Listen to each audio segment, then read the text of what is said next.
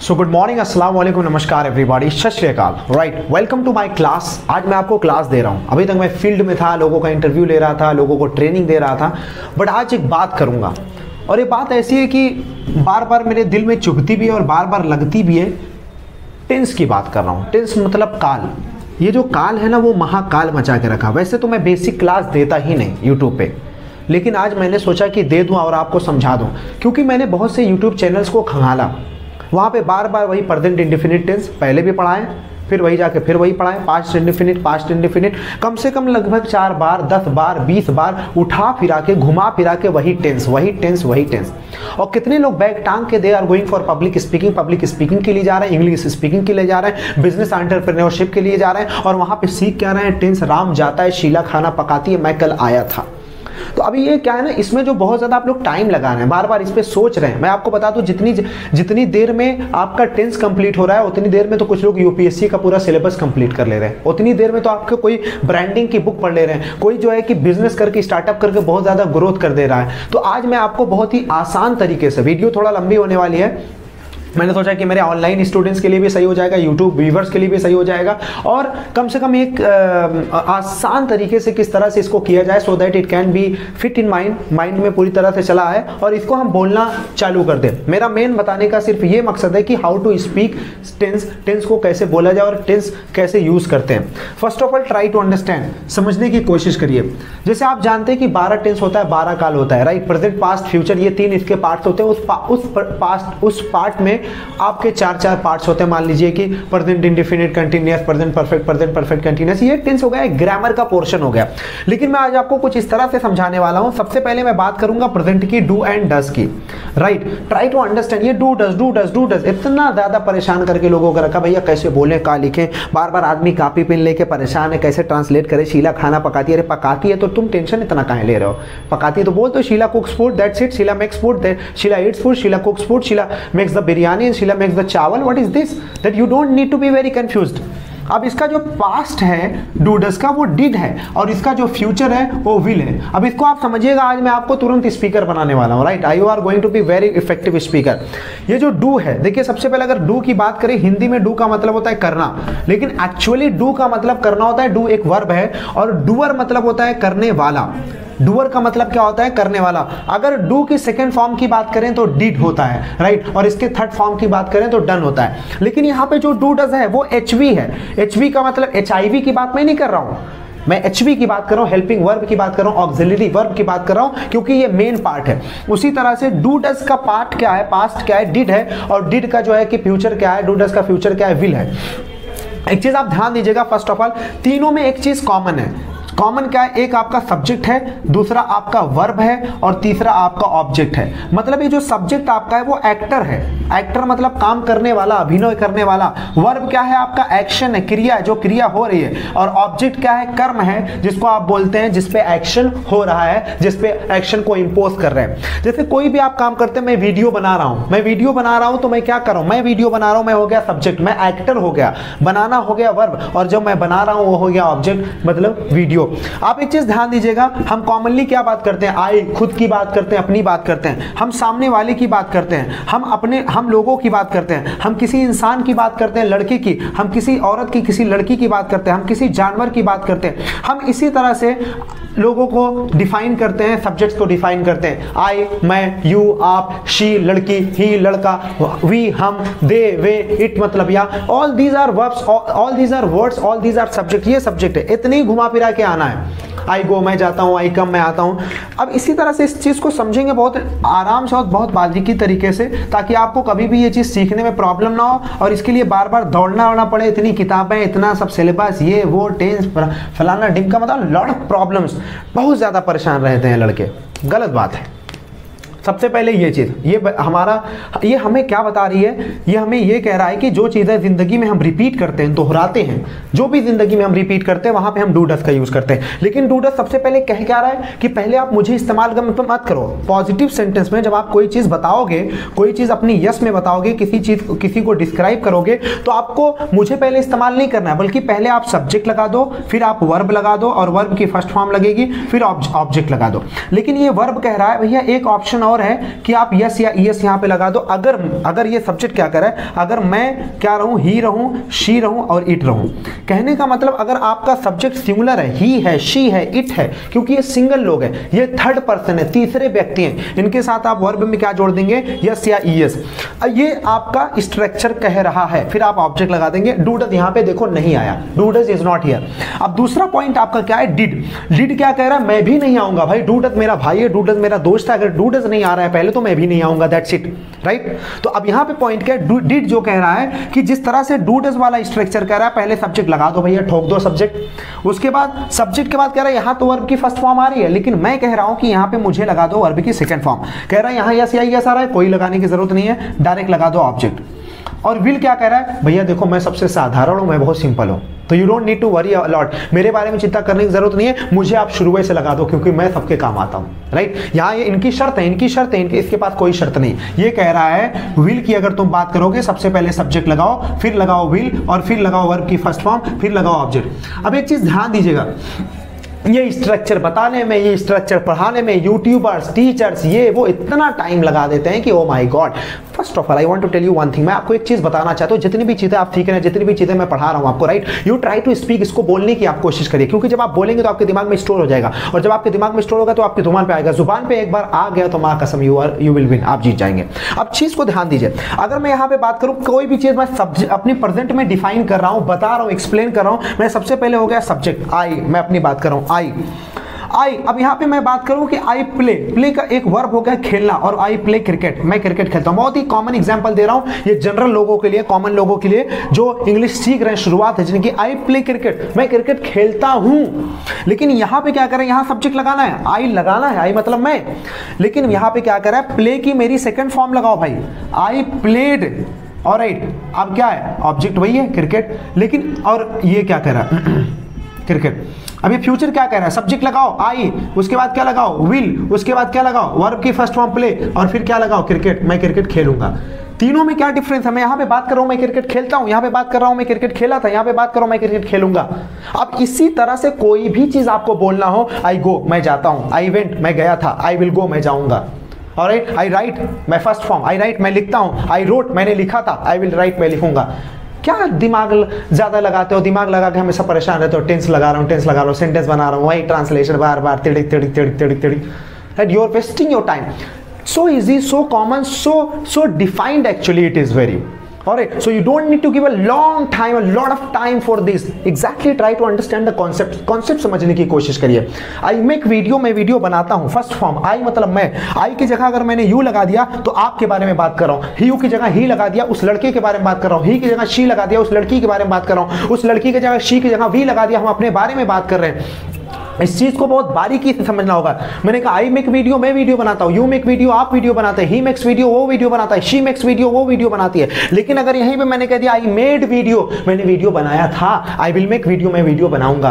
अब बार बार इसको आपको क्या करना, अगर इसको दिमाग में फिट करना है तो इसकी प्रैक्टिस करना। You need to do practice I play I play I will play right I go I walk I talk I speak I write I I teach I sit I stand आपको बार बार बोलना yes of I know of course बेशक I no मैं जानता हूँ I knew मैं जानता था आई विल नो मैं जान जाऊँगा। आई गो मैं जाता हूँ आई वेंट मैं गया था आई विल गो मैं जाऊँगा। आई कम मैं आता हूँ आई केम मैं आया था आई विल कम मैं आऊँगा।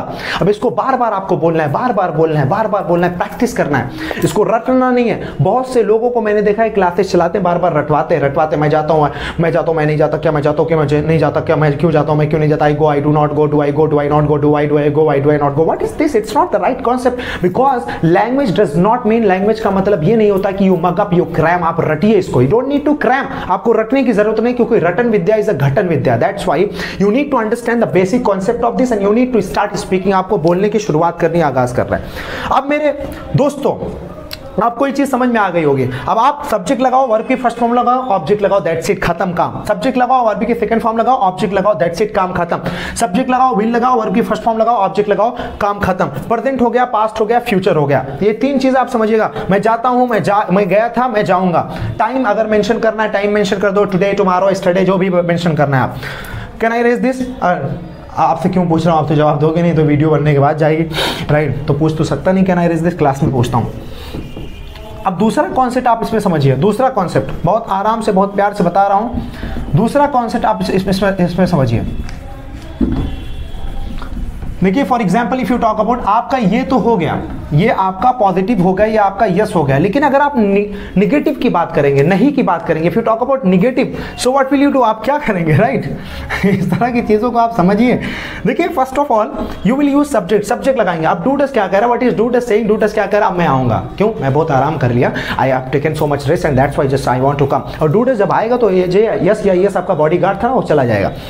सब्जेक्ट अब इसमें आप लगाएँगे do does all right you will use do does. And after that you will use not and then we, you will use first form and then you will use object right? बहुत common चीज़ है ज़्यादा time लगाने की ज़रूरत नहीं है। अब पास्ट में आप क्या कहेंगे? व्हाट विल यू से इन पास्ट यहाँ पे जब डू डज लग रहा है यहाँ पे डिड है। यहाँ पे डू डज है डू डज लग गया यहाँ पे डिड है डिड लग जाएगा। सब्जेक्ट यहाँ पे फिर उसके बाद क्या लग जाएगा? डिड फिर after that you will use not then you will use first form and then you will use object try to understand अब इसमें क्या लग जाएगा? वही formula same formula subject will फिर उसके बाद आपका हो जाएगा नॉट और उसके बाद आपका हो जाएगा वर्क की फ़र्स्ट फॉर्म ऑब्जेक्ट देखिए, बहुत आसान है, बहुत ईजी है, बहुत सरल है, बहुत ही सिंपल है। आप यहाँ पे क्या कह रहे हैं? आई डू नॉट गो मैं नहीं जाता हूँ। डू नॉट को शॉर्ट में आप डोंट भी बोल सकते हैं। आई डोंट गो मैं नहीं जाता हूँ। आई डिड नॉट गो मैं नहीं गया था। आई विल नॉट गो मैं नहीं जाऊँगा। एक चीज़ कॉमन है।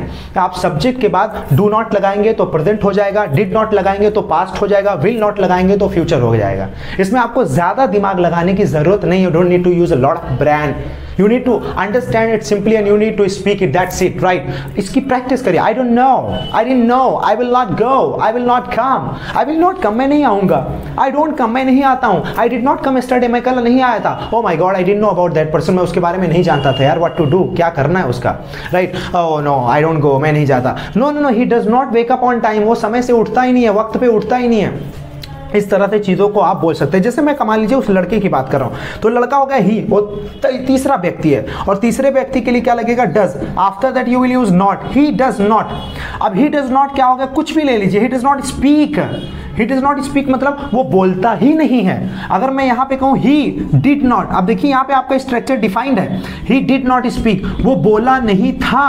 और यहाँ पे अगर मैं कहूँ कि ही विल नॉट स्पीक वो बोलेगा ही नहीं। ही विल नॉट स्पीक अब ट्राई टू अंडरस्टैंड समझने की कोशिश करिए कि डू नॉट को हम शॉर्ट में डोंट बोलते हैं डज नॉट को शॉर्ट में डजेंट बोलते हैं डिड नॉट को डिडेंट भी बोलते हैं और डिंट भी बोलते हैं और विल नॉट को हम ओंट बोलते हैं। देखिए डू का मतलब करना डिड मतलब किया विल का मतलब होता है इच्छा। एक कहावत है इंग्लिश में कि where there is a will there is a way जहाँ चाह वहीं पे राह, जहाँ चाह जाओगे वहीं राह बना लोगे। But for example, you know, okay, I don't know about this duster. I do not know about this duster. इस duster के बारे में मैं नहीं जानता हूँ। प्रेजेंट की बात कर रहा हूँ मैं। But if I talk about I did not know about this duster मैं इस डस्टर के बारे में जानता नहीं था। I will not buy this duster मैं इस डस्टर को खरीदूँगा नहीं। भैया will you buy this duster खरीदोगे? No I will not buy नहीं खरीदूँगा। यस आई विल बाय हाँ खरीदूँगा। Yes I will buy no no no I don't like this duster मुझे ये डस्टर पसंद नहीं है। तो इस तरह से आपको चीज़ों को प्रैक्टिस करना है डेली यूज़ करना है। देखिए डेली यूज़ करने के लिए आपको इस, इन सब सेंटेंसेस को फील करना है, महसूस करना है इमोशन जगाना है फीलिंग जगाना है। And after that you can use this in the proper way आप इसको प्रॉपर वे में इस्तेमाल कर सकते हैं राइट पहले इस्तेमाल करो, फिर विश्वास करो, पहले विश्वास करो, फिर इस्तेमाल करो। नाउ ओके चलिए मेरे साथ कुछ प्रैक्टिस कर लीजिए। I don't go I did not go. I will not go. I don't play. I didn't play. I will not play. Oh, I don't open the door. I did not open the door. I will not open the door. Oh, my father does not like me. My father did not give me money. My father will not give me money. My mother does not care. My mother did not care. My mother will not care. I'm talking about my mother does not care in present. My mother did not care in past. My mother will not care in future. That's it. I hope आपको समझ में आ गया होगा। पहला वाला जो मेरा structure था, वो कह रहा था हाँ मैं ये काम करता हूँ। दूसरा वाला स्ट्रक्चर कह रहा है कि मैं ये काम नहीं करता हूँ। चलिए आगे चलते हैं। लेट्स मूव अहेड समझने की कोशिश करिए ट्राई टू अंडरस्टैंड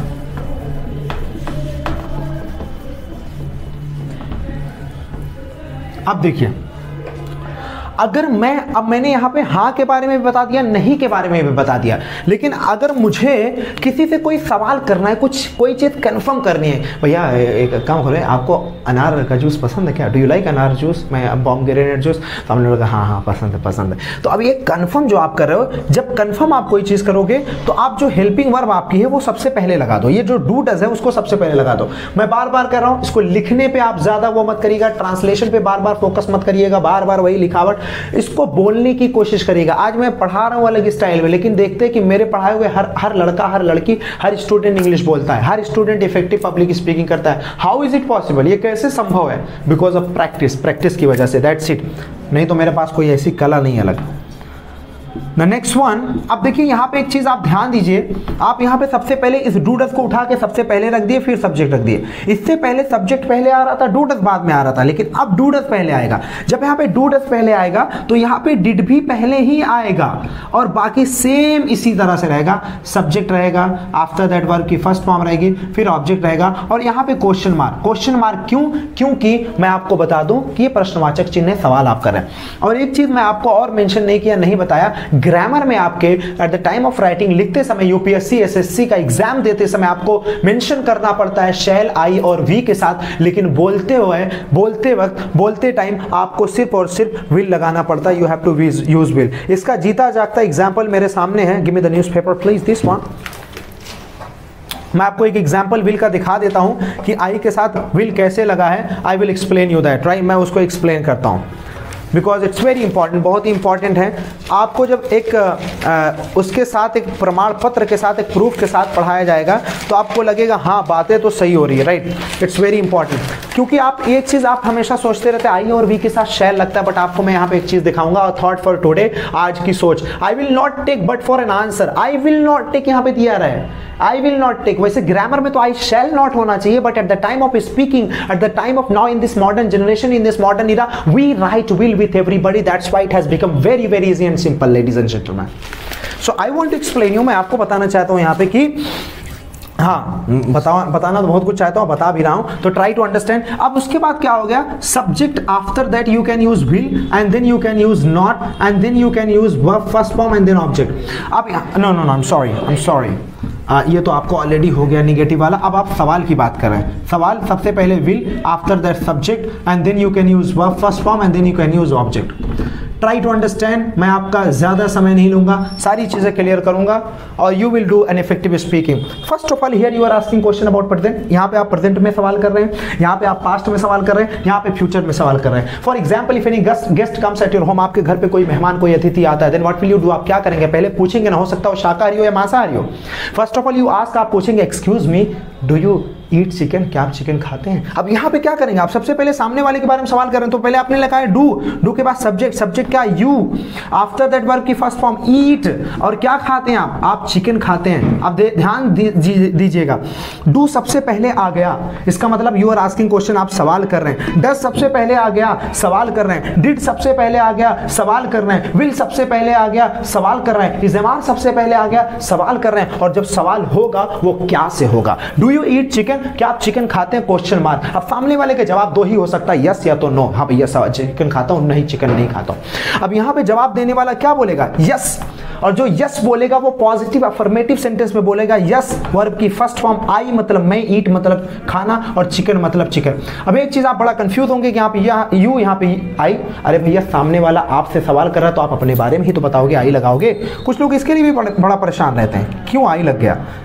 क्योंकि वो रटते हैं। रटने वाला इंसान कभी भी स्पीकर नहीं बन सकता क्वालिफाई नहीं कर सकता। That's why understand I I do not अब नो में क्या हो जाएगा? आई डू नॉट ईट क्या नहीं खाते आप? चिकन मैं चिकन नहीं खाता हूँ। यहाँ पे एक सवाल हो गया। अब मैं कुछ आपसे सवाल करता हूँ और आप जवाब दीजिएगा यस और नो में।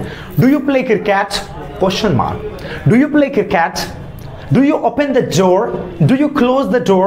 Do you speak English? Do you speak Sanskrit? Do you learn French? Do you respect your father? Do you respect your mother? Do you care your family? And do you go to your coaching center and coaching classes? Do you teach? Do you cheat? Do you play? Do you eat? Do you cook? Do you dance? इस तरह से मैंने आपसे सवाल कर दिया अगर मैं तीसरे व्यक्ति के बारे में सवाल करूंगा तो मैं आपसे पूछूंगा does he dance does she dance does he play does he walk does he talk does he enjoy his life अगर मैं यहाँ पे पास्ट के बारे में बात करता हूं if I talk about past तो पास्ट में मैं पूछूंगा डिड सबसे पहले मैं क्या लगाऊंगा डिड अगर मैं सामने वाले के बारे में बात कर रहा हूँ तो डिड यू हो जाएगा। Did you come come miss होता है आना। एस्टरडे एस्टरडे मिस हो गया कल। भैया, मैं आपसे एक सवाल कर रहा हूँ I am asking to you question सबसे पहले हो गया डिट फिर हो गया सब्जेक्ट यू फिर हो गया वर्क की फ़र्स्ट फॉर्म कम, और ऑब्जेक्ट हो गया एस्टरडे मतलब ये हो गया time did you come yesterday क्या आप कल आए थे? तो यहाँ पे आपका जवाब दो ही होगा यस आई केम और जब आप यस में जवाब देंगे पॉजिटिव में जवाब देंगे तो आई के बाद, मैं के बाद वर्ब की सेकेंड फॉर्म लगेगी, कम के सेकेंड फॉर्म है केम आई केम एस्टरडे मैं कल आया था. और दूसरा आपका हो सकता है नो आई डिड नॉट और जब डिड नॉट आएगा तो वर्ब की फ़र्स्ट फॉर्म आ जाएगी, कम आ जाएगी। I did not come yesterday मैं कल नहीं आया था। बहुत ही इजी चीज़ है। यहाँ पे आपने सवाल किया प्रेजेंट में, यहाँ पे आपने सवाल किया पास्ट में। मैं सवाल करता हूँ, कुछ पास्ट में आप जवाब दीजिएगा। Did you wake up at six o क्या आज आप छह बजे जागे थे? Did you take dinner dinner किए थे आप? Did you come on time क्या आप समय पर आए थे? तो इसका जवाब होगा yes I came on time no I did not come on time आप रट के जवाब मत दीजिएगा, सोच और विचार के जवाब दीजिएगा। Did you attend my last previous yeah, previous online class? Did you attend my live session? Did you attend my motivational session? Did you attend my classes? I'm asking to your question. Did your father go to Punjab? Did your father go to Dubai? Did you go to Dubai? Did you go foreign? अब यहाँ पे अगर मैं बात करूँ future की तो future में मैं आपसे आने वाले मुस्तकबिल के बारे में पूछूँगा, मैं आने वाले फ्यूचर के बारे में पूछूँगा, भविष्य के बारे में पूछूँगा। So here I can use सबसे पहले मैं क्या यूज़ करूँगा? विल विल के बाद सामने अगर बात कर रहा हूँ तो विल यू प्ले प्ले का मतलब होता है खेलना. विथ का मतलब होता है साथ में. मी मतलब मेरे. तो क्या आप मेरे साथ खेलेंगे? Will you play with me तो सामने वाला जवाब एक ही दे सकता है या दोस्त दे सकता है. यस आई विल प्ले हाँ मैं खेलूँगा. और दूसरा सामने वाला जवाब दे सकता है no I will not play नहीं, मैं नहीं खेलूँगा. और अगर विल को विल नॉट को शॉर्ट में बोलना चाहें तो आप ओंट बोल सकते हैं. मैं आपसे विल में सवाल करता हूँ. If I ask you question regarding will will you play yes I will play Will you go? Yes, I will go. No, I will not go. Will you dance? Yes, I will dance. No, I will not dance. तो आप sense लगाइए you use sense and after that you try to give answers answers देने की कोशिश करिए right right? जब भी answer दीजिए जब भी स्पीकिंग करिए जब भी ट्रांसलेशन करिए हमेशा अपना सेंस अपना इमोशन अपनी फीलिंग्स लगा के करिए नॉट लाइक दैट कि अरे यार अरे यार अरे राम जाता है दी कहाँ लगाना है दा कहाँ लगाना है ये कहाँ लगाना है ज़्यादा टेंशन लेके नहीं करने का बहुत फ्री माइंड होकर करना मैंने आप आपको बहुत ही कम समय में तीन चीज़ें समझा दी, बहुत आराम से। मैं आपसे सवाल करता हूँ, आप जवाब दो। Do you play did you play yesterday will you play tomorrow do you dance did you dance in your brother's marriage Will you dance in my marriage? I'm talking about future that when I marry, when I get married, I will invite you. And otherwise, if I don't invite you, you can get crash in my marriage. अगर मैं आपको निमंत्रण पत्र नहीं दिया तो आप gate crash कर दीजिएगा। गेट क्रैश का मतलब बिन बुलाए बाराती बिन बुलाए आ जाइएगा। और बिन बुलाए आप आएँगे तो मैं आपसे एक सवाल कर रहा हूँ कि विल यू डांस क्या आप डांस करेंगे? तो आपका जवाब दो हो सकता है। यस आई विल डांस और दूसरा आई विल नॉट डांस और डांस मैं इसलिए बोल रहा हूँ क्योंकि डांस को डांस बोलना है चांस को चांस बोलना है एग्ज़ाम एग्ज़ाम को एग्ज़ाम बोलना है, ना कि बोलना है डांस ना कि बोलना है चांस ना कि बोलना है एग्ज़ाम तो dance exam chance dance exam chance tomorrow I will go for my examination tomorrow I will dance in the party tomorrow I will come with a big chance right I hope that you understood आपको समझ में आ गया होगा। बहुत आराम से, बहुत प्यार से बताया गया है। Right how is the teaching strategy guys how is this Yes, please. Yes, it is going good. Why? Thank you so much. So let's move ahead. अब आगे चलते हैं आगे चलने में एक पॉइंट और है। मैं अभी आपका सिर्फ़ प्रेजेंट पास्ट फ्यूचर का इंडिफिनिट ही कंप्लीट कर रहा हूँ। आप इसके आगे भी है, जो बार बार वही बारह ठो बॉक्स बारह ठो टेंस हे प्रेशर अरे यार, लोग आई का एग्ज़ाम क्वालिफाई कर लें प्री निकाल के मेंस में जाकर बैठ रहे हैं मेंस निकाल के इंटरव्यू में बैठ रहे हैं, और अभी हम टेंथ लेके बढ़े क्या होगा इसका ट्रांसलेशन वहाँ? नो तो ट्राई टू यूज़ इसको यूज़ करने की कोशिश करिए। ट्राई टू स्पीक इट बोलने की कोशिश करिए। अब देखिए, आपका तीनों स्ट्रक्चर सेम रहेगा। आपने जो नोट किया अभी अभी जो मैंने पढ़ाया अब आपका एक सवाल आ जाएगा जब आप किसी से कोई चीज़ कंफर्म कर लोगे तो आपका सवाल आएगा वाई आपका सवाल आएगा हाउ आपका सवाल आएगा वेन आपका सवाल आएगा वेयर आपका सवाल आएगा यू नो व्हाट आपका सवाल आएगा विच आपका सवाल आएगा हु आपका सवाल आएगा हुम आपका सवाल आएगा टू हुम आपका सवाल आएगा फॉर हुम राइट right, आप ध्यान दीजिए। आपका सवाल आएगा हाउ मेनी और ये सब क्वेश्चन नंबर से सब सवाल है सवाल पूछते हैं सब। आपका सवाल आएगा हाउ मच और राइट आपका सवाल आएगा हाउ लॉन्ग आपका सवाल आ सकता है हाउ फार और ये सारे वर्ड्स हैं, सारे वर्ड्स ये कह रहे हैं कि सवाल करो। वाई का मतलब क्यों? जब आप किसी के वजह, किसी के रीजन की बात करेंगे तो वाई की बात करेंगे। आप किसी के माध्यम की बात करेंगे तो हाउ से बात करेंगे। आप किसी के टाइम की बात करेंगे तो वेन से बात करेंगे। आप किसी के स्थान की बात करेंगे तो वेयर से बात करेंगे। आप किसी के नाम की बात करेंगे तो विच की बात करेंगे। वाट से बात करेंगे? किसी इंसान के बारे में बात करेंगे तो who to whom with whom से बात करेंगे। आप किसी क्वांटिटी किसी नंबर्स की बात करेंगे तो हाउ मेनी बात करेंगे, आप किसी अमाउंट की बात करेंगे तो हाउ मच से बात करेंगे, आप किसी की दूरी की बात करेंगे हाउ लॉन्ग की बात करेंगे, और हाउ फार मतलब होता है हाउ लॉन्ग मतलब कितना समय और हाउ फार मतलब कितनी दूरी। ये सारे क्वेश्चंस हैं।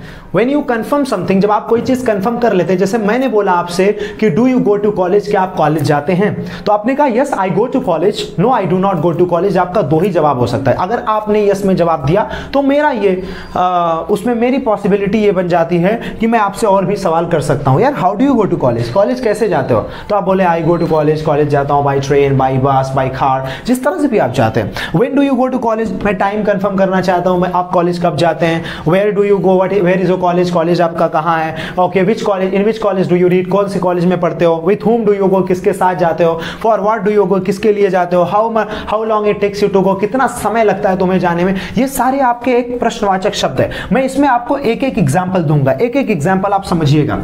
एक एक एग्ज़ाम्पल दूँगा, आपको समझ में आ जाएगा। मैं सबसे पहले प्रेजेंट का उठाऊँगा वाई से। Why do you learn English अब मैं सबसे पहले, अब एक चीज़ ध्यान दीजिएगा। अगर मैं इसी वाई को हटा दिया तो आपका पहला वाला स्ट्रक्चर हो गया जो अभी अभी आपको मैंने बताया था, जो आपने लिखा था। डू यू लर्न इंग्लिश क्या आप इंग्लिश सीखते हैं? आपका जवाब yes I learn English no I don't learn English जब आपने कहा यस आई लर्न इंग्लिश मैंने डू से पहले क्या लगा दिया? वाई वाई का मतलब हो गया क्यों? और क्यों से जब हम बात करते हैं तो रीजन की बात करते हैं, वजह की बात करते हैं। Why do you learn English जब वजह की बात करते हैं तो आपका जवाब फॉर हो सकता है, आपका जवाब बिकॉज़ हो सकता है, क्योंकि आपको कारण तो बताना ही होगा। Why do you learn English आप इंग्लिश क्यों सीखते हैं? अब यहाँ पे आपका रीजन आई मतलब मैं आई लर्न इंग्लिश मैं इंग्लिश सीखता हूँ। यहाँ तो आपने क्लियर कर दिया आई लर्न इंग्लिश मैं इंग्लिश सीखता हूँ। वाई क्यों? फॉर फॉर स्पीकिंग बोलने के लिए। ये मैं कॉमन आंसर दे रहा हूँ। बहुत सारे इसके आंसर हो सकते हैं जो आप जिसके लिए करें I speak I learn English for betterment of life I speaking I I learn English for big opportunities I learn English because it's my profession it's my compassion it's my obsession it's my curiosity for good lifestyle or whatever for knowledge for information for language learning for speaking for talking for going foreign whatever your wish is that you can speak i learn english for speaking मैं English सीखता हूँ बोलने के लिए और अब यहां पे अगर दूसरा सवाल मैं करूं पास्ट से अगर मैं एक सवाल आपसे करूं कि हाउ डिड यू और how did you come today इसका मतलब मैं क्या बात कर रहा हूँ? हाउ डिड यू हाउ मतलब हो गया कैसे? अगर मैं कहूँ डिड यू कम टुडे क्या तुम आज आए थे? क्या तुम कल आए आज आए थे? आज, या आप आज आए थे? हाउ डिड यू कम कैसे आए थे तुम आज? तो अब यहाँ पे आपका जवाब होगा आई मतलब मैं केम सेकेंड फॉर्म आई केम अब क्या होगा? I came by train I came by train today today I came by train आज मैं किससे आया था? ट्रेन से आया था. I came by train right इस तरह से आप जवाब दे सकते हैं. यू कैन आंसर तो you need to understand exactly कि हाउ विल यू रिप्लाई या how can you reply I will I came by train अगर इसी तरह से सवाल हो जाएगा वाई विल यू गो आप क्यों जाएँगे? इसी डू डस की जगह विल लगाना है. डू डिड की जगह विल लगाना है. डिड की जगह विल लगा फ्यूचर हो गया. डिड की जगह डू डस लगाया प्रेजेंट हो गया. और डू डस की जगह डिड लग गया पास्ट हो गया. बाकी सब सेम वही फंडा रहेगा.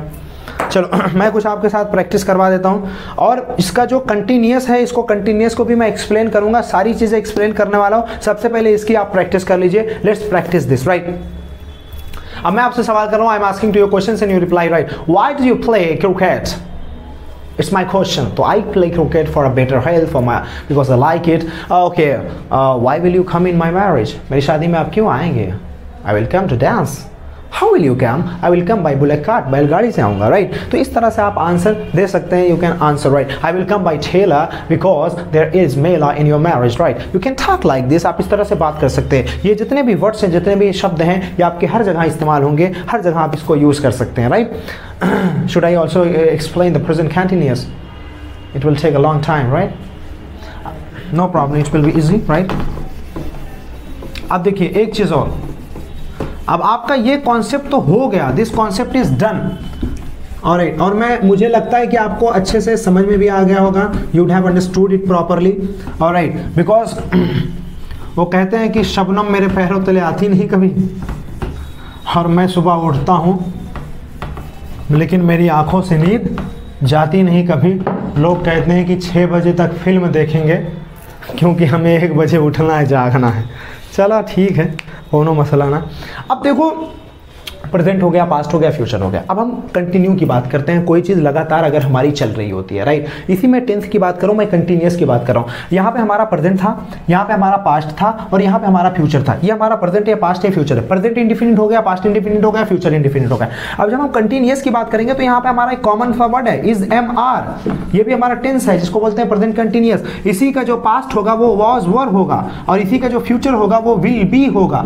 इसको, अब इसी को पढ़ाने के लिए, इसी को बताने के लिए, अरे, तेरी जैसे लग रहा है UPSC Union Public Service Commission की तैयारी कर रहे हैं। टेंसवा नहीं आ रहा टेंसवा नहीं आ रहा, कैसे कहा करे, कैसे ट्रांसलेट करे? अरे यार, just leave it, feel free and enjoy it and you speak it, that's very easy alright अब आप ये भी सोच रहे होंगे यार, अब्दुल्ला भाई के लिए इजी है। It's not like that easy है तब मैं बता रहा हूँ। कुछ नहीं है ये, कुछ नहीं है। कितने यूट्यूबर लाखों रुपया कमा रहे बस यही पढ़ा है। घुमा फिरा कोई पढ़ा है, घुमा फिरा कोई पढ़ा रहा आज मैं एक दिन पढ़ा दूँगा, कभी फिर पढ़ाऊँगा ही यूट्यूब पे। चलो देखो। खत्म, एक घंटे के अंदर। इसे मारो।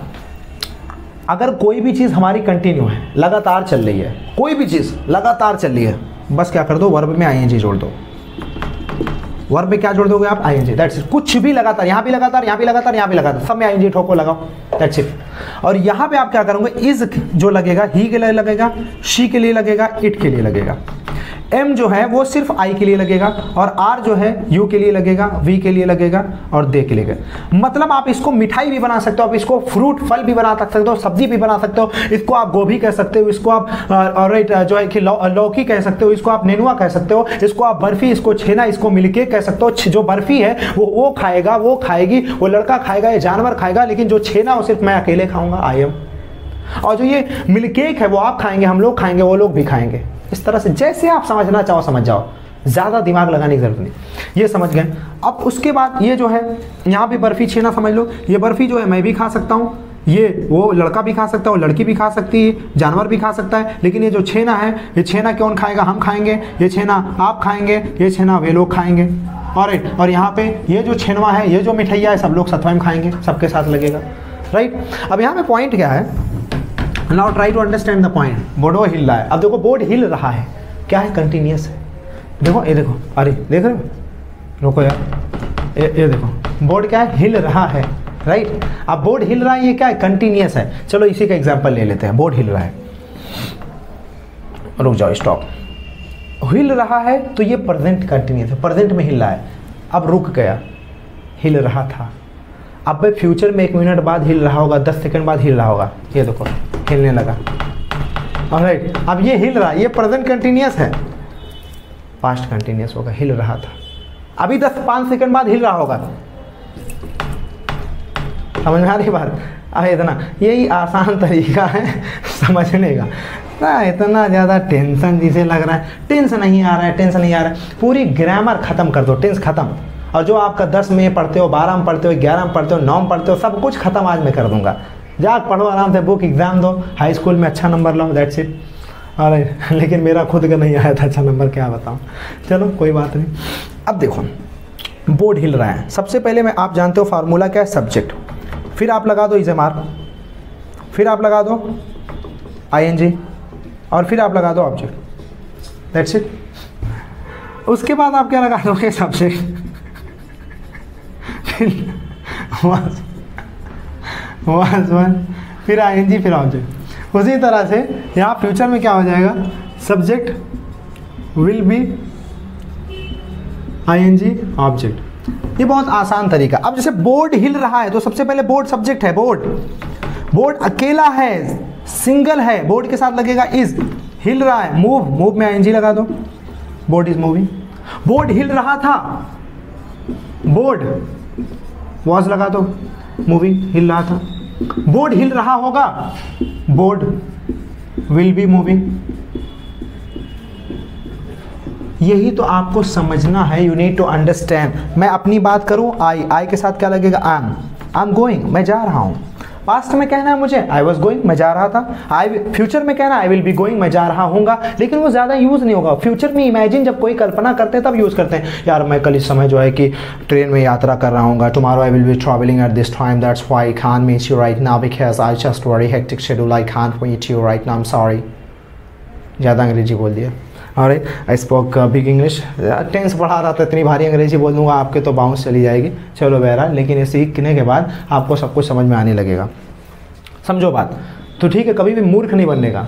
मूर्ख नहीं बनने का। मूर्ख जो बना रहे हैं लोग, मूर्ख बनने के लिए अपना थोड़ा दिमाग इस्तेमाल करेगा। जो आसान चीज़ है, उसको आसान तरीके से लो।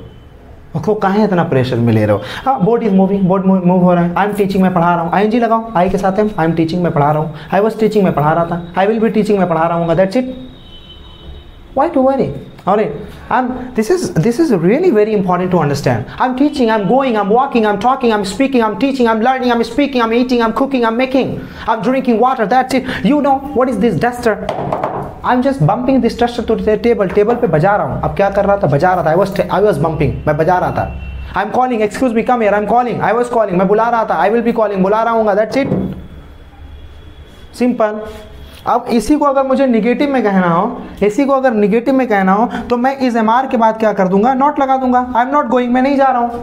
यहाँ पे वॉज़ वर के बाद क्या लगा दूँगा? नॉट लगा दूँगा। आई वॉज़ नॉट गोइंग मैं नहीं जा रहा था। यहाँ फ्यूचर में यहाँ पे विल के बाद क्या लगा दूँगा? नॉट लगा दूँगा। I will not be going that's it excuse me are you going क्या तुम जा रहे हो? No I am not going today नहीं आज नहीं जा रहा हूँ मैं। I am sorry I am busy I am tired I am not going today Hey, are you coming? Oh no, I'm sorry, I'm not coming. Am के बाद आप तुरंत क्या लगा देगा? नॉट लगा देगा that's it I am not coming I am not coming right okay okay wait wait इंतज़ार करो. आई एम कमिंग आई के साथ एम लगा दिया आपने. आई एम कमिंग मैं आ रहा हूँ. आई एम नॉट कमिंग मैं नहीं आ रहा हूँ. और इस एम नॉट को आप शॉर्ट में बोल सकते हो. एम एंड भी बोल सकते हो. और आप शॉर्ट में और शॉर्ट में बोल सकते हो. एंड इज़ नॉट को एम नॉट को आर नॉट को हैज़ नॉट को हैव नॉट को, पाँचों के साथ अगर नॉट लगता है, उसका शॉर्ट फॉर्म एंड हो सकता है। आर यू कैमिंग आ रहे हो? आई एंड कैमिंग मैं नहीं आ रहा हूँ। I am sorry I and coming इस तरह से। मेरे ख्याल से आप समझ में आ गया होगा। निगेटिव भी समझ में आ गया। अब हम लोग सवाल की बात कर लेते हैं। और आपको सवाल पता है किस तरह से करते हैं? हाउ टू आस्क क्वेश्चन अगर आप डू समझ गए तो पूरा बारह टेंस समझ जाएँगे। बारह टू टेंस राइट तो आपको ज़्यादा टेंशन नहीं लेना है। एक, क्योंकि कहते हैं ना, जड़ समझ गए तो पुनवी समझने में ज़्यादा दिक्कत नहीं होगी। अगर जड़ मज़बूत है तो उसकी शाखाएँ भी मज़बूत रहेगी। अब इसमें एक चीज़ ध्यान दीजिए। अगर मैं आपसे सवाल करूँ तो सबसे पहले मैं इस इज़ को, हेल्पिंग वर्क को सबसे पहले लगा दूँगा। मैं आपसे कुछ कंफर्म करूँगा सवाल। After that object question mark यहाँ पे वॉज़ वर्क जहाँ पे इज़ लग रहा है, देखो एक चीज़, बहुत आराम से। जहाँ प्रेजेंट के लिए डू डेफ लगेगा वहाँ पास्ट के लिए डिड लगेगा और फ्यूचर के लिए विल लगेगा और जहाँ प्रेजेंट के लिए इजमार लगेगा वहाँ पास्ट के लिए वॉस वर लगेगा और फ्यूचर के लिए विल भी लगेगा जहाँ प्रेजेंट के लिए हैज़ हैव लगेगा वहाँ पास्ट के लिए हैड लगेगा फ्यूचर के लिए विल हैव लगेगा दैट्स इट अब यहाँ पे अगर मैं बात करूँ प्रेजेंट में इजमार लग रहा है पास्ट के लिए क्या लगेगा तुरंत उसी जगह पे was were subject I N G object question mark will subject be I object और और ज़्यादा दिमाग लगाने की ज़रूरत नहीं है। अब यहाँ पे मैं सवाल आपसे कर सकता हूँ कि अब जैसे मान लीजिए सामने मेरे आप खड़े हैं तो आपके साथ मैं क्या लगाऊँगा? आर सबसे पहले मैंने लगा दिया आर फिर सब्जेक्ट कौन है? आप। आर यू वर्ब की वर्ब की फ़र्स्ट फॉर्म में आईएनजी जोड़ना है। Are you are you drinking right are you drinking wine wine एक शराब मदिरा लीकर जिसको बोलते हैं अल्कोहलिक ड्रिंक बोलते हैं, जिसको कॉकटेल भी बोल सकते हैं। आर यू ड्रिंकिंग वाइन क्या आप शराब पी रहे हैं? आपका दो जवाब हो सकता है yes I am drinking wine no I am not drinking wine अगर आप बिहार में है तो नेपाल से मंगा के पी रहे होंगे और दिल्ली में है तो पूरी लाइन इतनी गजब की लाइन लगती है। माँ कसम, उतना तो जो है कि यूपी आई का रिज़ल्ट लगने के बाद ऐसी लाइन नहीं लगती होगी जितना मदिरा पीने के लिए लगती है। वाह और उसको देखने के बाद ये लगता है कि हाँ यार हमारे भारत में संघर्ष ज़रूर है, लेकिन वो संघर्ष एक्चुअली पढ़ाई का संघर्ष नहीं, वो संघर्ष है कि हमें एक तो पौवा मिल जाए। अब यहाँ पे एक चीज़ ध्यान दीजिएगा तो अब यहाँ पे आ रही हो ड्रिंकिंग वाइन यहाँ पे दो जवाब हो सकता है for a drinked man yes I am drinking wine for a drunkard man yes I am drinking wine and no I am not drinking wine yes सवाल मैंने आपसे किया, जवाब आप देंगे। Are you yes I am are you do you yes I do you yes I did you yes I will you yes I are you yes I? क्योंकि I के बारे में तो जवाब देना, अपने बारे में तो जवाब देना, आई के साथ क्या लगेगा? आई के साथ एम आई एम ड्रिंकिंग और आई एम जो आप बोल रहे हैं, उसको आम बोलो। आम, Dasheri, Chausa, Langra. I am drinking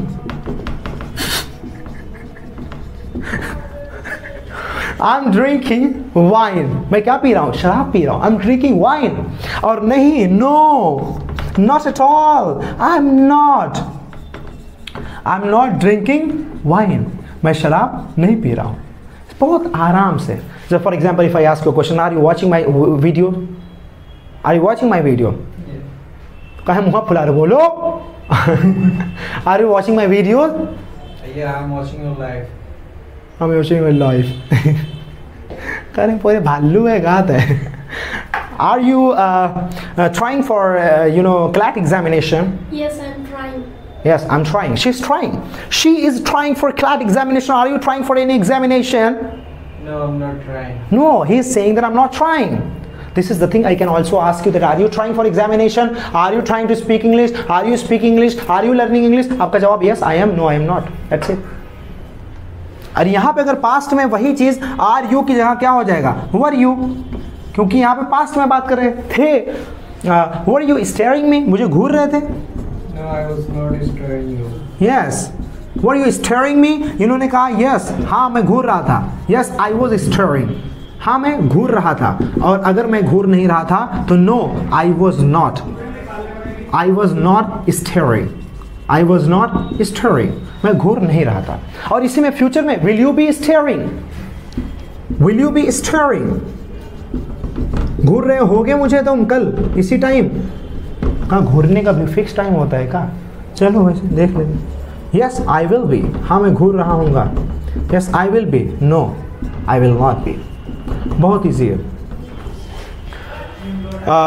are you trying to speak good English Yes, I'm trying. Yeah, she is trying to speak good. Are you trying to speak good English? Yes, I'm trying. Are you trying to speak good English? Yes, I'm trying. Ye- yes you are trying to speak good english.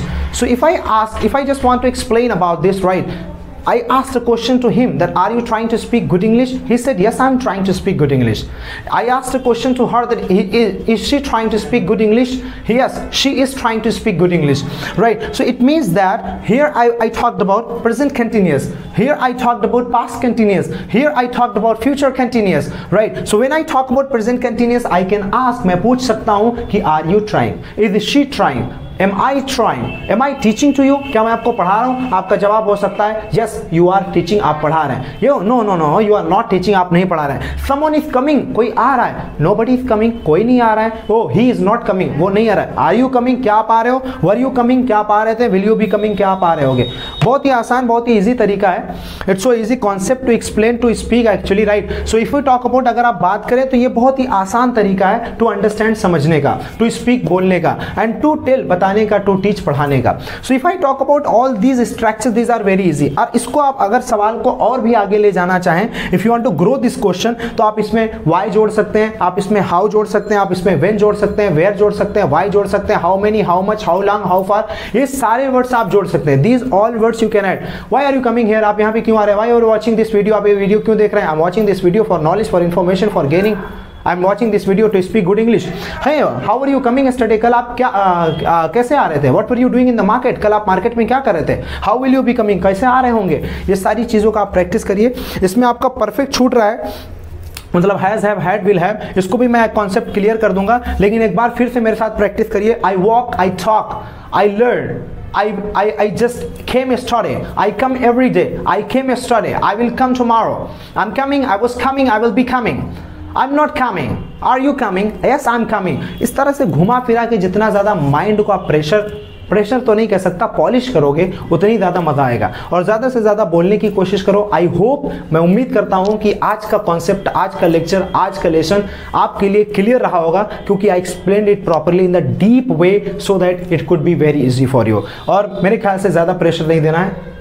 इस्तेमाल करिए। तो इसमें हम लोगों ने देखा कि is am are जो है, पहले हमने देखा डू डस प्रेजेंट जितनी भी चीज़ें रिपीट होती है आई गो आई वॉक आई ईट फिर हमने देखा did past indefinite I walked मैं टहला था, फिर हमने देखा future indefinite I will walk मैं टहलूँगा। लेकिन यहाँ पे जो मैंने आपको एक्सप्लेन किया आई एम वॉकिंग मैं टहल रहा हूँ। भैया, जैसे मुझे वो घूर रहे हैं इज़ स्टेयरिंग में थोड़ा बचा लो मुझे सेव मी ऑलराइट और उसके बाद अभी दो मिनट पहले वो मुझे स्टेयर कर रहे थे, घूर रहे थे तो ही वॉज़ स्टेयरिंग में और अगर दो मिनट बाद वो मुझे घूर रहे होंगे ही विल बी स्टेयरिंग में देखिए डू डज और डिड में डू डज में डिड में पॉजिटिव के बाद और विल में फ़र्स्ट फॉर्म लगती है। Is am are was were will be में तीनों में वर्ब की फ़र्स्ट फॉर्म में आईएनजी जुड़ती है, क्योंकि यहाँ पे काम हो रहा है। अब आप जरा ध्यान दीजिए, मैं ऐसे हाथ को कर रहा हूँ। अभी पर्दन में चल रहा है I am moving my hand अभी स्टॉप कर दिया। I was moving my hand अभी फ्यूचर में मूव कर रहा हूँ I will be moving my hand I am not going मैं नहीं जा रहा हूँ। आर यू गोइंग क्या आप जा रहे हैं? वर यू गोइंग क्या आप जा रहे थे? यस आई वॉज़ गोइंग मैं जा रहा था। ये सारी चीज़ें आप रिपीट करिए। बार बार इसको यूज़ करिए। लेट्स मूव अहेड आगे चलते हैं। आज खत्म सब कुछ हो जाएगा। ओ board is moving board is moving I am erasing मैं मिटा रहा हूँ। आई एम राइटिंग मैं लिख रहा हूँ। आई एम स्पीकिंग मैं बोल रहा हूँ। Right I am using duster मैं डस्टर यूज़ कर रहा हूँ। ओ wow it's nice it's nice to erase this oh my god it's moving again फिर से हिल रहा है। It is moving again again and again बार बार अगेन एंड अगेन बार बार। और इतना ना लड़खड़ाओ और हमको इतना ना परेशान करो। स्टॉप योर सेल्फ रुक जाओ और आगे चलो। चलो, इसको मैं सही करके उसके बाद लेट्स मूव अहेड आगे चलते हैं। अब ये दो फॉर्म हमारा हो गया प्रेजेंट हो गया प्रेजेंट कंटिन्यूस हो गया। अब हम परफेक्ट की बात करेंगे। अगर परफेक्ट का मतलब ही होता है कोई काम हो जाना, कोई काम कंप्लीट हो गया आपका। If any work is completed वो परफेक्ट हो गया, खत्म। और जब भी कोई काम कंप्लीट हो जाएगा वर्ब की थर्ड फॉर्म लगा देंगे।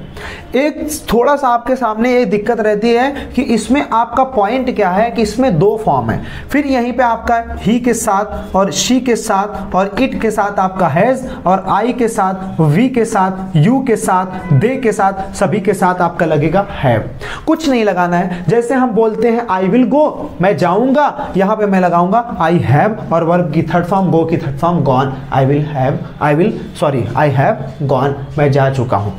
यहाँ पे मैं आपका, अगर पास्ट परफेक्ट की बात करूँगा हैड लगेगा. यहाँ पे गुलाब जामुन और रसगुल्ला दोनों हैं. यहाँ पे खाली रसगुल्ला सबको खिलाओ. थर्ड फॉर्म और यहाँ पे भी आपका क्या है? विल हैव फ्यूचर के बारे में आप अगर कोई काम फ्यूचर में कर चुके होंगे। कर चुका हूँ, कर चुका था, कर चुका हूँगा करता हूँ, किया था, करूँगा, कर रहा हूँ, कर रहा था, कर रहा हूँगा, कर चुका हूँ, कर चुका था, कर चुका हूँगा, ओ मेरे सनम, मेरे हमदम। अब देखिए इधर for example if you talk about this अगर आप इसकी बात करें तो सबसे पहले आप सब्जेक्ट लगाओगे। सब्जेक्ट के बाद आप क्या लगाओगे? हैज़ और हैव लगाओगे राइट बहुत ही ईजी है, बहुत ही आसान आप इसको समझिए। उसके बाद वर्ब की थर्ड फॉर्म लगाओगे after that you will use object object का यूज़ करेगा। सब्जेक्ट कुछ भी हो सकता है सब्जेक्ट आई हो सकता है सब्जेक्ट यूज़ हो सकता है सब्जेक्ट ही हो सकता है। इसके अकॉर्डिंग सब्जेक्ट के अकॉर्डिंग आप हैज़ और हैव लगा दोगे, जैसे आई हैव गॉन मैं जा चुका हूँ। देर वहाँ जा चुका हूँ। मुंबई मुंबई जा चुका हूँ। I have gone to college मैं कॉलेज जा चुका हूँ। आई हैव गॉन ऑस्ट्रेलिया मैं ऑस्ट्रेलिया जा चुका हूँ। जहाँ भी आप जा चुके हैं। यू हैव यू के साथ आपने लगाया क्या? यू हैव और गिवेन दे चुके हैं आप। ही हैज़ ही के साथ क्या लगेगा? हैज़ और बॉट उसने खरीद लिया है। कुछ भी new bungalow new car new house अब आई हैव गॉन मैं जा चुका हूँ। यू हैव गिवन आप दे चुके हैं। ही हैज़ बॉट वो खरीद चुका है। ही हैज़ गॉन वो जा चुका है। He has I have you have he has she have we have they have all these things उसके बाद वर्ग की थर्ड फॉर्म लगा दे जाओ। स्पीक है स्पोकन स्पीक है स्पीक स्पोक स्पोकन ड्रिंक है ड्रंक बोलो। राइट है? स्मोक है स्मोक्ड बोलो। कॉल है कॉल्ड बोलो। इन्वाइट है इन्वाइटेड बोलो। टीच है टॉट बोलो। राइट अब अगर आपको थर्ड फॉर्म पता है थर्ड फॉर्म नहीं पता तो दो रुपए की किताब आती है, वो लेके थर्ड फॉर्म ले लो। Right I have gone I have seen I have seen the Taj Mahal. See saw seen ask ask ask अब इसी को अगर आप पास्ट में ले जाओगे, एक बड़ा कॉमन सा एग्जांपल एक बार मैं टूर लिवा के जा रहा था once I was taking tour of the happiness students alright so they were talking in English वो इंग्लिश में बात कर रहे थे एंड देयर वाज अ गंजा गंजा एंड टकला person right standing in the train and he was just when he was tortured जब पूरी तरह से वो टॉर्चर हो गया तो बंदे ने पूछने लगा, अच्छे, तुम लोग अंग्रेज़ी बहुत जानते हो, ये बताओ डॉक्टर के आने से पहले मरीज़ मर चुका था। और उसमें से जो लड़का लड़खड़ाया, वो कह रहा, अंग्रेज़ी बोल रहे हो बहुत ज़्यादा। बहुत ज़्यादा अंग्रेज़ी झाड़ लो, तुम्हें ये नहीं पता, पर पास्ट परफेक्ट टेंस नहीं पता। डॉक्टर के आने से पहले मरीज़ मर चुका था। ये जो मर चुका था, ये जो काम कर चुका था, ये खाना खा चुका था और पॉकेट से सिगरेट चुरा चुका था, इसको हम बोलते हैं, यहाँ पे हैड यूज़ करते हैं। कुछ भी आई हैड अब सेम एकदम फॉर्मूला ही रहेगा। सब्जेक्ट सब्जेक्ट की जगह हैज़ हैव हैज़ हैव की जगह क्या लगा दोगे? हैड और हैज़ हैव की जगह क्या लगा दोगे? विल हैव मतलब बदल जाएगा, चुका था, चुका होगा। जैसे आई हैड ईटन अरे जब तुम मुझे बुलाए ना वेन यू कॉल्ड मी जब तुम मुझे बुलाए आई हैड ईटन मैं खा चुका था। और कल मैं खा चुका हूँगा आई विल हैव इटन अब हैज़ हैव की जगह क्या लगा दो आप? आई विल हैव इटन अब इसी को अगर आप निगेटिव करोगे, नहीं में ले जाओगे तो आई हैव के बाद क्या लगा दोगे? नॉट लगा दोगे। यू हैव के बाद आप क्या लगा दोगे? नॉट लगा दोगे। ही हैज़ के बाद आप क्या लगा दोगे? नॉट लगा दोगे। आई हैड के बाद आप क्या लगा दोगे? नॉट लगा दोगे। और आई विल हैव और विल के बीच में क्या लगा दोगे? नॉट लगा दोगे। मैं आपसे एक सवाल करूँ if I ask you question excuse me have you taken dinner क्या तुमने डिनर कर लिया है? आपका जवाब दो होगा। यस आई हैव टेकन मैं डिनर कर चुका हूँ। आई के साथ हैव फिर third form I have taken मैं कर चुका हूँ। No I have not taken मैं सिर्फ़ और सिर्फ़ ये आपको बता रहा हूँ, इसलिए खुलासा इस चीज़ का कर रहा हूँ, इसलिए मैं आपको सिर्फ़ बुलवाने के लिए बता रहा हूँ।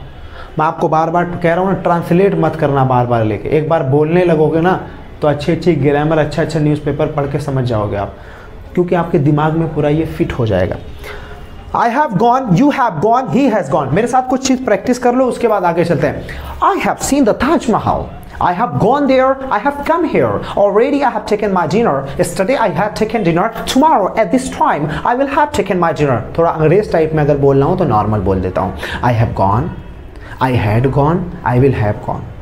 I have eaten, I had eaten, I will have eaten. Right इस तरह से आप इस चीज़ को अगर मैं निगेटिव की बात करूँ हैव के बाद not I have not taken dinner मैं डिनर नहीं किया हूँ. I had not taken dinner मैं डिनर नहीं किया था. I will not have taken dinner मैं डिनर नहीं कर चुका हूँ काम कंप्लीट हो चुका है. काम कंप्लीट हो चुका था. काम कंप्लीट फ्यूचर में हो चुका होगा. टेंशन मत लो. तुम्हारी बिल्डिंग जब तुम आओगे ना दिल्ली से वापस तुम्हारी बिल्डिंग कंप्लीट हो चुकी होगी. तुम्हारा इंस्टीट्यूट चमक चुका होगा। तुम्हारे बच्चे जो है कि अच्छी अंग्रेज़ी बोल चुके हैं। बच्चे हो चुके नहीं होंगे। बच्चे की बात नहीं कर, बड़ा हंस रहे हो। बच्चे की बात नहीं कर रहे। सरकार बड़ा एक्साइट है। बड़ी मन कर रहा है शादी करने। अरे, चलो। देखा, किया तो नहीं आगे चलते हैं। लेट्स मूव है हाँ बच्चे अंग्रेज़ी बोल चुके होंगे अच्छा पढ़ चुके होंगे राइट अब आगे देखिए मूव करते हैं। अब इसको अगर आप सवाल में कन्वर्ट करना चाहेंगे right I am not talking about the children's birth I am talking about children's could have spoken English will have spoken English will have learned English and completed the course right you understand me अब यहाँ पे अगर आप सवाल करोगे do does पहले आया did पहले आया विल पहले आया, इजमार पहले आया वॉज़ वर पहले आया विल भी पहले आया। जब सब पहले आता है सवाल पूछने के लिए तो ये क्यों नहीं आएगा पहले? लगाओ पहले। है sir subject third form object question mark इसी तरह से यहाँ पे हैज़ हैव लगा यहाँ पे हैड लग जाएगा, बाकी सेम चीज़ रहेगी। यहाँ पे विल सबसे पहले लग जाएगा, फिर सब्जेक्ट फिर हैव बाकी सेम चीज़ वही रहेगी। जैसे मैं एक सवाल आपसे करूँ हैव सबसे पहले सवाल लगा दिया हैव सामने मेरे हैं आप have you have you taken bath क्या आप नहा चुके हैं, स्नान कर चुके हैं? अब आपका जवाब दो होगा यस अगर आप अपना बर्थडे की जगह बर्थडे मनाते हैं तो तीन सौ पैंसठ दिन में एक बार नहाते हैं तो आप नहीं नहा चुके होंगे, मुझे पता है। अगर आप नहा चुके हैं तो आप बोल सकते हैं यस आई मतलब मैं। आई के साथ क्या लगेगा? Have I have taken bath मैं नहा चुका हूँ। अगर आप नहीं नहाए हैं तो आप क्या बोल सकते हैं? I have not taken bath मैं नहीं नहाया हूँ, नहीं नहा चुका। अब इसी तरह से यही अगर यहाँ पे मैं हैड लगा दिया तो क्या आप नहा चुके थे? विल लगा दिया will you have taken bath क्या आप नहा चुके होंगे? बहुत आसान तरीका है इसको समझने का। आप इसको आसान तरीके से समझ सकते हैं। मैं आपसे सवाल करता हूँ। Have you seen the plane क्या आप प्लेन देख चुके हैं? Have you correct UPSC examination क्या आप यूपीएससी का एग्ज़ाम दे चुके हैं? Have you gone for NDA क्या आप एनडीए के लिए जा चुके हैं? Have you gone for interview क्या आप इंटरव्यू के लिए जा चुके have you ever seen the White House क्या आपने अमेरिका का कभी व्हाइट हाउस देखा है? Yes I have seen no I have not seen had you seen क्या आपने देखा था? देख चुके थे? यस आई हैड सीन मैं देखा था जब मैं ओबामा से मिलने गया था। Right will you have seen क्या आप देख चुके होंगे? हाँ जी, देख चुका होगा जब जॉय बाइडेन मुझे इनवाइट करेंगे, आमंत्रित करेंगे व्हाइट हाउस में मुलाकात के लिए फॉर मीटिंग राइट अब ये लास्ट चीज़ देख लेते हैं। बारह का बारह खत्म। माफ़ी अंतर खुलूस मार्कर गिर चुका है। मार्कर गिर चुका है। Marker has fallen marker has fallen अब मैं इसको उठाऊँगा। I will future I will pick it उसको उठा रहा हूँ। I am picking I am picking I am lifting उठा चुका हूँ। आई हैव लिफ्टेड खत्म। उठा चुका था। I had lifted that's it खत्म। राइट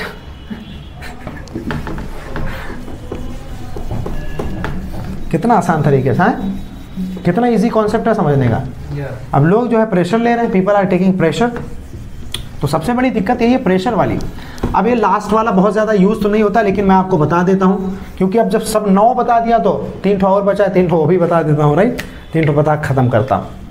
हैज़ हैव इसको बोलते हैं ग्रामर वाले बोलते हैं ग्रामर वाले मतलब हम भी ग्रामर वाले। हैज़ है बीन अब भैया देखो, बीन लग गया। हैज़ हमें लग गया बीन? इसको बोलते हैं प्रेजेंट परफेक्ट कंटिन्यूअस इसको बोलेंगे आगे had been past perfect continuous इसको बोलते हैं future perfect continuous will have been बहुत ज़्यादा ये स्पीकिंग में यूज़ नहीं होता है ग्रामर में आएगा तो आप मतलब समझ जाइएगा। इसका मतलब होता है सिंस और फॉर इसमें लगता है, किसी पर्टिकुलर टाइम से लगातार कोई मैं काम कर रहा हूँ तो हैज़ बीन हैव बीन किसी पर्टिकुलर टाइम से मैं कोई काम कर रहा था तो सिंस और फॉर हैड बीन लगेगा, और पर्टिकुलर टाइम से मैं कर रहा हूँगा तो विल हैव बीन लगेगा. आप ध्यान दीजिए, जब आपका कोई निश्चित समय क्लियर नंबर नंबर में अगर वो समय नंबर में, गिनती में, संख्या में है तो फॉर लगाएँगे. अगर कोई निश्चित समय मॉर्निंग है इवनिंग है नाइट है, कोई जनवरी का महीना है 2012 है तो वहाँ पे आप सिंस लगाएँगे। लेकिन अगर एक दिन, दो दिन, चार मिनट, चार महीना, पाँच साल है तो आप फॉर लगाएँगे। और अगर मान लीजिए, मैं आपसे एक बात कहूँ छोटी सी बात कहूँ कि मैं आपको एक घंटे से पढ़ा रहा हूँ तो मैं क्या कह सकता हूँ? सबसे पहले मैं मैं के साथ क्या लगेगा? हैज़ बिन या हैव बिन हैव बिन लगेगा। आई हैव बिन ये ग्रामर कह रहा है। वैसे आप अगर नॉर्मल स्पीकिंग में बोलना चाहे तो आप बोल सकते हैं I am teaching for it for four hours for a one hour मैं आपको एक घंटे से पढ़ा रहा हूँ। लेकिन ये करेक्ट वे है टू स्पीक ताकि आपका पेपर पे पढ़ने का एग्ज़ाम भी देने का मामला सही रहे आई हैव बीन अब क्या हो जाएगा? वर्ब की आईएनजी लगेगी क्योंकि यहाँ पे आप वर्ब में आईएनजी जुड़ेगी क्योंकि आप यहाँ पे काम कर रहे हैं। I have been teaching I have been teaching for for one hour मैं एक घंटे से आपको पढ़ा रहा हूँ। यहाँ पे आपका क्या लग गया? फॉर लग गया। जैसे मान लीजिए ही ही मतलब वो ही के साथ क्या लगेगा? Has he has been working वो काम कर रहा है। सिंस 2012 2012 से। वो 2012 से काम कर रहा है। अगर मैं कहूँ ही इज़ वर्किंग वो काम कर रहा है। He has been working since 2012 वो 2012 से काम कर रहा है। किसी अगर निश्चित, अनिश्चित समय से कोई काम कर रहा है, किसी पर्टिकुलर टाइम से अनपर्टिकुलर टाइम से कोई भी काम कर रहा है, लगातार वहाँ पे हैज़ बीन और हैव बीन लगाते हैं और सिंस और फॉर लगाते हैं, फिर टाइम लगा देते हैं और वो काम लगातार कर रहा है। सिर्फ़ काम कर रहा है तो he is working present continuous he was working past continuous he will be working future continuous he has been working present perfect he had been working present past perfect और पास्ट परफेक्ट कंटिन्यूस और he will have been working future perfect continuous अब यहाँ पे मैं कहता हूँ he had been working since morning सुबह से वो काम कर रहा था ही वॉज़ टायर्ड वो थक गया था and you did not leave him उसे तुम लीव नहीं दिए। अच्छा लीव के भाई मामले बड़े अच्छे हैं। लीव का मतलब होता है छुट्टी। हमें यू नो बर्थ लीव मिलती है चाइल्ड लीव मिलती है, और एक वर्ड होता है जो बहुत ज़्यादा लोग ले लेते हैं फ्रेंच लीव फ्रेंच लीव का मतलब होता है, बिन बताए छुट्टी ले लेना। जो कि लोग ज़्यादा कर देते हैं एंड दैट इज़ रॉन्ग इसको बोलते हैं फ्रेंच लीव तो जिस तरह से, जिस वे में मैंने ये बोला है, उसी वे में आप ये हैड लगा देंगे हैज़ हैव की जगह, और हैज़ हैव की जगह विल हैव लगा देंगे, मामला काम खत्म. फिर से मैं एक बार पूरा बारह टेंस बोलता हूँ प्रेजेंट से, फिर बारह बोल देता हूँ एक एक करके I learn English it's present independent I speak English English बोलता हूँ। आई स्पोक इंग्लिश इंग्लिश बोलता था। आई विल स्पीक इंग्लिश मैं इंग्लिश बोलूँगा। आई एम स्पीकिंग इंग्लिश बोल रहा हूँ। आई वॉज़ स्पीकिंग इंग्लिश बोल रहा था। I will be speaking English बोल रहा हूँ आई हैव स्पोकन इंग्लिश